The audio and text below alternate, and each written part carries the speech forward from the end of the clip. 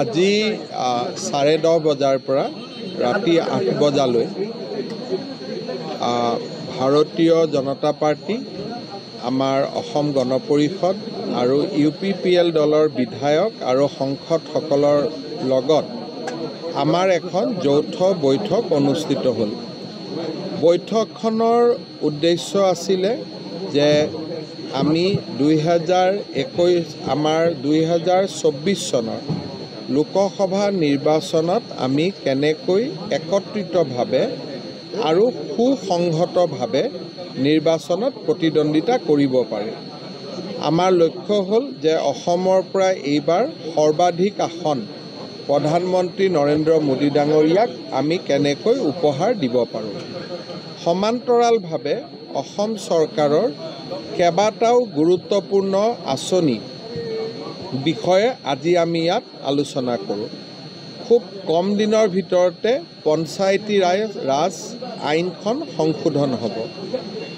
পঞ্চায়তী ৰাজ ব্যৱস্থাত এইবাৰ আমি ৰাজনৈতিক আৰু অৰাজনৈতিক অৰ্থাৎ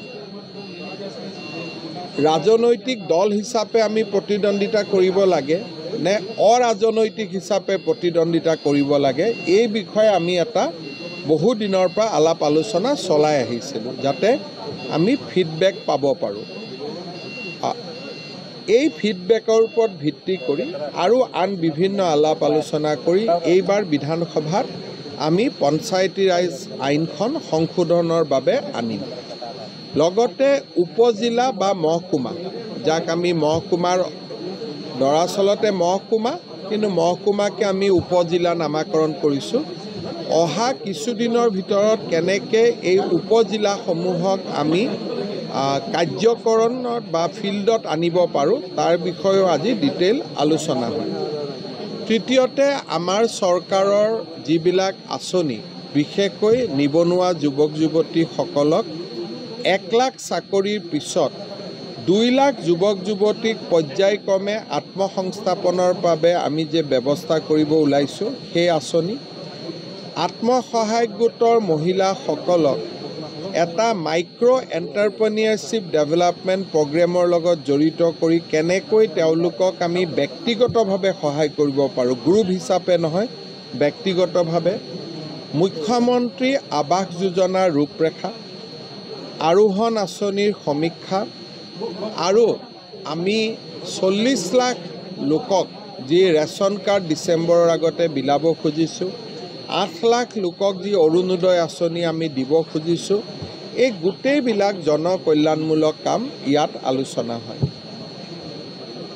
ইনফ্ৰাষ্ট্ৰাকচাৰ ডেভেলপমেণ্টৰ ওপৰতো সমষ্টিত কেনেকৈ আমি দুখনকৈ এশ ছাব্বিছ ইণ্টু দুই অৰ্থাৎ আঢ়ৈশখন আমি নতুন স্কুল প্ৰায় পাঁচ ছয় কোটি টকাকৈ খৰচ কৰি আমি বনাব খুজিছোঁ তাৰ বিষয়ে আজি আলোচনা হয়। এই বছৰ আমি প্ৰতিটো সমষ্টিত আৰু চল্লিছটা তিয়াল্লিছটাকৈ মডেল অংগনবাদী চেণ্টাৰ বনাব খুজিছোঁ। তাৰ বিষয়ে আজি আলোচনা হয় ৰাস্তা ঘাটৰ আলোচনা হয়। বিশ্ব বেংকৰ সাহাৰ্য দি আমি চাৰি হাজাৰ কোটি টকাৰ দলঙৰ নিৰ্মাণৰ কাম বিভিন্ন স্থানত। সেই আঁচনিও আমি অহা দুমাহৰ ভিতৰত আৰম্ভ কৰিম। তাৰ বিষয়েও আলাপ আলোচনা। এই সম্পৰ্কেও বিশদ আলোচনা হয়।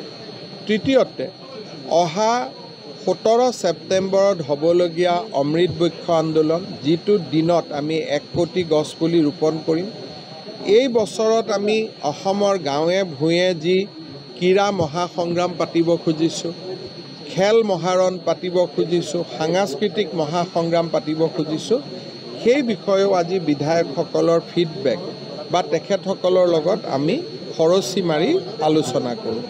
এক প্ৰকাৰ ক'ব গ'লে বিধানসভা অধিৱেশনৰ প্ৰাক মুহূৰ্তত ডিলিমিটেশ্যন পঞ্চায়তী ৰাজ- ৰাজ এমেণ্ডমেণ্টৰ পৰা আদি কৰি ৰাজ্যৰ জনহিতাৰ্থে আমি আৰম্ভ কৰা বিভিন্ন আঁচনি আদিৰ সম্পৰ্কত আজি আমি মুকলিমূৰীয়াকৈ কথা বতৰা পাতোঁ